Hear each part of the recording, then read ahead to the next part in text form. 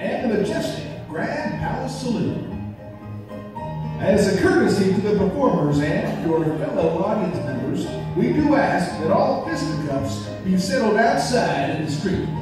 In addition, please silence all cell phones and no smoking, please. And now, it's time for Miss Diamond's 80th Jubilee.